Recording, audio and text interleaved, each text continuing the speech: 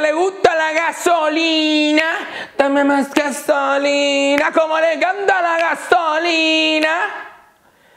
Dame más gasolina. Ella prende la turbina. Hola a todos, ¿cómo están? Espero que estén lo mejor el día de hoy. El día de hoy, damas y caballeros, si han puesto atención durante el transcurso de los meses, se habrán dado cuenta que siempre la rola tiene algo que ver con alguno de los temas y a ver si reconocen que tiene que ver gasolina con todo el tema que vamos a tocar el día de hoy. Pero bueno, damas y caballeros, el día de hoy tengo que confesarles algo. Sí, hoy vamos a hablar un montón de cosas que me interesaron y según yo a ustedes también les van a interesar. El día de hoy les tengo que confesar algo. Este mes ha sido muy difícil para mí y hoy, hoy me rompí. Hoy fue que ya, vamos a hablar del perro tema. Este mes ha sido muy difícil para mí porque todos los medios internacionales, menos los mexicanos por alguna razón, todos los medios internacionales han estado hablando de una sola cosa. Entonces yo siempre les quiero traer como noticias, cosas que te hagan sentir bien, pero todos están hablando de esta tragedia y yo de ching no, no, no, no, no. Y, les he estado buscando noticias de todo tipo, de todas cosas y así, pero esta noticia ha sido noticia global y hoy te la voy a explicar porque tiene que ver con absolutamente todos nosotros, así de conectado está el mundo. Este ha sido un mes muy difícil para mí porque no quería hablar de este perro tema. Hoy se los vamos a explicar porque pues en México parece que nadie está explicando esto, entonces hoy te voy a explicar el cagadero entre Estados Unidos, Arabia Saudita, Turquía, Donald Trump, el príncipe de Arabia Saudita que ahora es rey y un periodista periodista del Washington Post. Qué cagadero. ¿Y cómo es que todo esto te puede afectar a ti muy pronto, aunque no lo creas? Lo que pasa en China te puede terminar afectando a ti directamente. Entonces, el día de hoy te voy a explicar todo el cagadero que sucedió entre Estados Unidos y Arabia Saudita y Turquía. Y, está bueno el chisme. O sea, si te gusta el chisme, está bueno. Te lo voy a explicar así con güey, a huevo. Pero, o sea, es la noticia. Vamos a empezar. Y esta historia empieza con Jamal Khashoggi, un periodista que estaba tan cabrón que terminó siendo el jefe de una televisora árabe en donde pues de vez en cuando atacaban ciertas acciones de los reyes de Arabia Saudita. Este es un güey periodista árabe, atacaba a los reyes de Arabia Saudita y resulta que los reyes de Arabia Saudita pues no pueden con los haters, son entonces lo querían matar. Los reyes de Arabia Saudita querían matar a Jamal Khashoggi. Entonces el vato, él solito se exilió a Estados Unidos y dijo, el gobierno de Arabia no me está dejando usar Twitter. Se fue a Estados Unidos y siendo el cabrón que es, lamentablemente dejó un puesto de jefe para volverse periodista de el Washington Post. Ok, desde Estados Unidos, desde el Washington Post, el güey seguía criticando las acciones de los reyes de Arabia Saudita. Seguía diciendo, esto que están haciendo está mal, tener este terreno está mal, están haciendo... O sea, atacaba realmente a los reyes de Arabia Saudita. Estos jeques cabrones, dueños de medio petróleo de todo el planeta. Una cosa así bien cabrona. Bueno, Jamal Khashoggi por un rato los estuvo atacando desde Estados Unidos. A la segura, ¿no? Estados Unidos eh, tendrá mucho cagadero, pero no es un país que mate a sus periodistas, no como México. Pero bueno, Jamal Khashoggi estaba atacando a los reyes de Arabia y, por alguna razón el güey de repente empezó a recibir, por ser un cabrón, se supone, em, recibía ofertas de trabajo, ofertas de trabajo que le, pagaban un varo para que regresara a Arabia Saudita. Güey, te un varo para que estés aquí y ofertas de trabajo que llegaban a ser esas sospechosas, de que neta me vas a pagar ese varo por ir. Y el güey aparentemente recibió varias ofertas de trabajo, nunca fue porque él sabía que lo querían matar en Arabia Saudita. Al final del día resulta que el güey se quería casar y tenía que entregar unos papeles en territorio árabe para poder casarse. ¿Me están siguiendo? El güey tenía que entregar unos papeles en territorio árabe, no iba a entrar él a Arabia Saudita porque los reyes lo quieren matar. Entonces fue a Istambul, Turquía, y en la embajada o en el consulado de Arabia Saudita en Turquía, el güey entró para dejar unos papeles. Esto pasó el 2 de octubre y esto va a cambiar el resto del 2019. Esto que pasó el 2 de octubre que ha hecho que los medios no dejen de hablar de este pedo. Jamal Khashoggi, periodista árabe en Turquía, entra al consulado árabe a entregar unos papeles y no salió. Y ya, desapareció. No, no salió. Los videos de seguridad nada más muestran a hombres saliendo con trajes y hace poquito acaban de salir de que qué pedo que un hombre salió usando la ropa de Jamal Khashoggi. What the fuck? Espérate, desapareció un periodista americano porque en este momento, ya que es exiliado, se convierte en ciudadano americano. Se desapareció un periodista americano, desapareció y todo parece indicar que esos hombres que salieron con maletas habían entrado a Turquía con una sierra para cortar huesos. Jamal Khashoggi entró al consulado árabe, lo mataron, lo cortaron en pedacitos y se lo llevaron en maletas.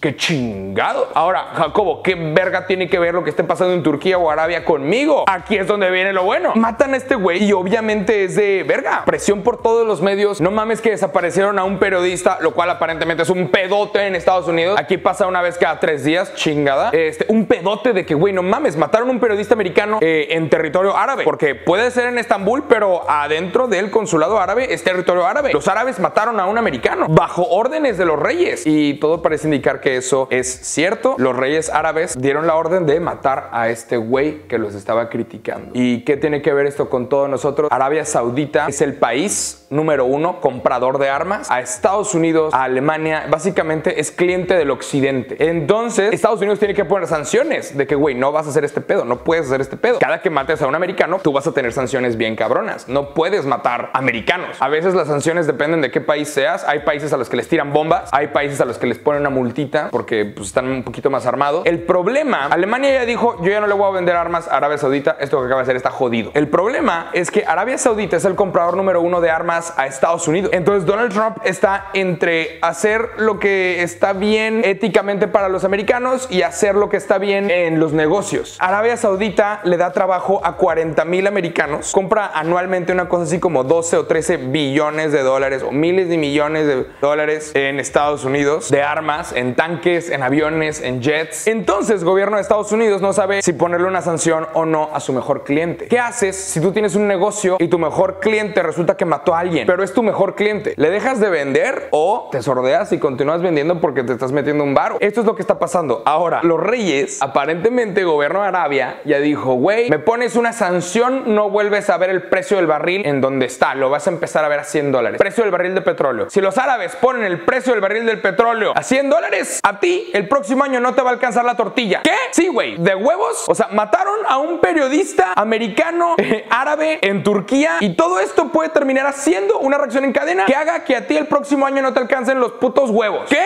Así de conectado está el perro planeta y esto es lo que han estado hablando durante todo el mes, todos los medios internacionales. La noticia que yo me he querido evitar porque me da hueva, porque me... ¿Qué hueva? No quiero hablar de asesinatos, no quiero hablar de pinches árabes cortando a alguien en pedacitos y llevándoselo en Está jodido, pero ya no puedo más. Esta es la noticia que ha estado pasando todo este mes y si todos nosotros estamos preocupados por la caravana migrante, cabrón, la caravana migrante, la caravana migrante es un montón de hondureños, eso es una cortina de humo, porque está haciendo que Donald Trump le está poniendo atención a otras cosas como caravanas de migrantes que hasta donde sabe Estados Unidos está mejor pagarle a 10 mil personas para que vayan a hacerla de pedo en la reja México-Estados Unidos, para que vayan a hacerla de pedo y la atención se enfoque en estos inmigrantes y no en un cagadero de billones de dólares con tu mejor cliente de armas que acaba de asesinar a uno de los tuyos. Esto nos tiene que llevar a la pregunta del día de hoy, que es, ¿qué harías tú si fueras el presidente de Estados Unidos? Tu mejor cliente acaba de matar a uno de los tuyos, pero sigue siendo tu mejor cliente. ¿Haces lo que es éticamente correcto, pero pierdes 40 mil trabajos? ¿O le pones sanciones y te arriesgas a que estos cabrones pongan el precio del barril a 100 dólares y nos chinguen a todos? Jacobo, no deberían de poder, no pueden poner el precio del barril a 100 dólares. Se supone que no, güey, pero de que pueden, pueden. Y de que se pueden chingar al mundo, se pueden chingar al mundo.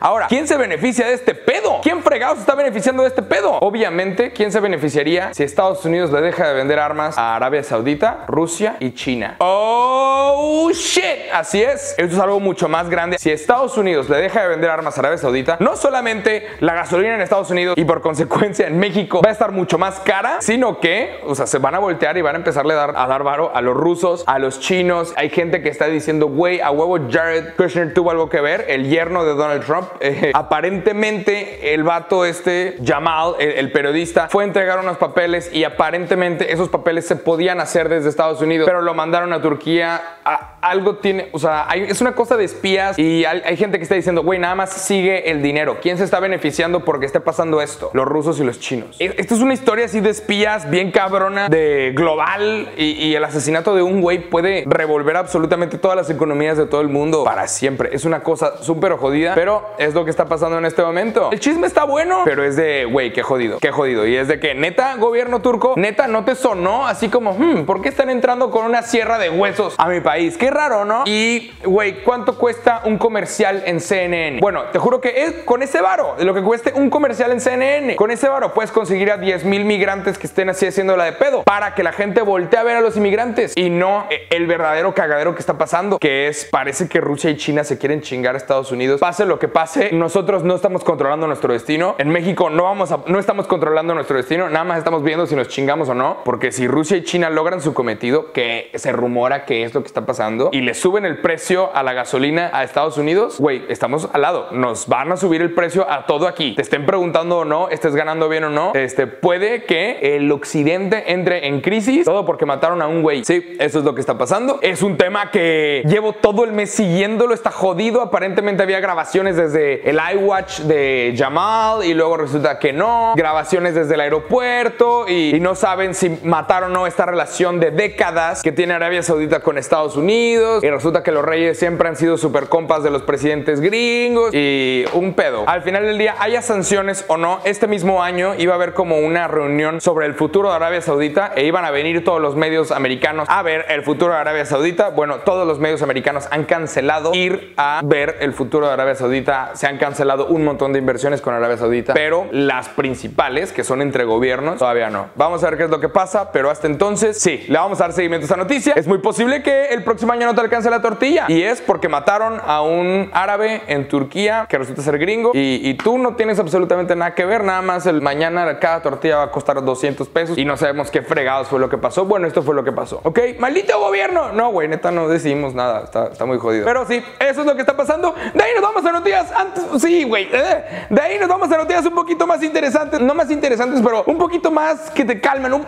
más diferentes. Así que vamos a hablar de deportes, ya que el día de viernes, creo que fue, o sábado, uno de los mejores futbolistas del mundo, Lionel Messi, eh, se cayó, se cayó mal y se fracturó o se dislocó el codo. Obviamente, Lionel Messi siendo Lionel Messi un cabrón, él tiene acceso a los mejores doctores del mundo. El Barcelona está perdiendo dinero por tenerlo lesionado. Entonces, vamos a ver cómo funcionan los mejores doctores del mundo y si Lionel Messi se puede curar de una herida que aparentemente una persona normal va a tardar de 2 a 4 meses en recuperarse. Si a ti te pasa este pedo que le pasó a Lionel, si a ti te pasa este pedo, tú vas a tardarte de 2 a 4 meses en recuperarte y en poder volver a, a hacer pesas, por ejemplo. Lionel Messi, obviamente teniendo acceso a los mejores doctores del mundo, los mejores doctores de ligamentos deportivos, cabrones. Vamos a ver cuánto tiempo tarda este güey en regresar a las canchas. Es una noticia a la cual le vamos a estar dando seguimiento porque me interesa saber qué tan avanzada está la medicina. Pero sí, esto es algo que está pasando. Ya se sabe que los deportistas más cabrones tienen a los mejores doctores del mundo. Es básicamente los que con urgencia se rompen algo y una semana después están jugando y metiendo goles otra vez. Vamos a ver qué es lo que pasa con Lionel Messi, pero sí, esas son noticias que vienen desde Barcelona. De Barcelona vamos a noticias que vienen desde Estados Unidos y esto es para olvidarte tantito de que hay un cagadero sucediendo con Arabia Saudita. Bienvenidos a esta nueva sección que estoy inventando que se llama Inventos Estúpidos. Aparte de esta sección, otro invento estúpido es el dip clip. ¿Qué es el dip clip? Un clip que pones en tu carro para poner ahí tu dip y poder comer tus papitas o comer tus cosas desde tu carro. Raza, yo no recomiendo esto, qué asco. Eh, en mi opinión, no se tiene que comer donde se maneja, no se come donde se duerme. Tu cama es para dormir, tu oficina es para trabajar, tu carro es para manejar. Yo entiendo que haya gente igual y policías o raza que maneja Uber que, que le conviene tener un dip clip. Está raro, pero